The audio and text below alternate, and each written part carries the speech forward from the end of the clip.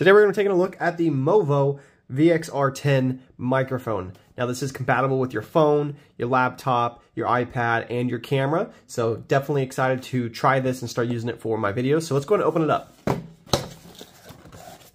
So straight out of the box, this is what we're looking like. This is what you're gonna get.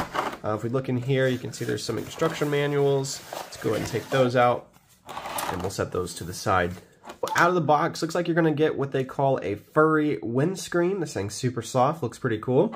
Um, as well as, let's see here, looks like some shock mounts. Looks like we have two of them.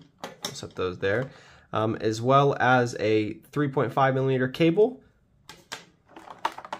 Um, this looks like a, let's see here, another cable. Looks like it has the springs to it.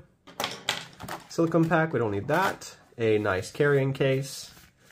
And these are pretty much just the instruction manuals here, kind of going on how to do it. Looks like they have a master your audio video course that you can watch.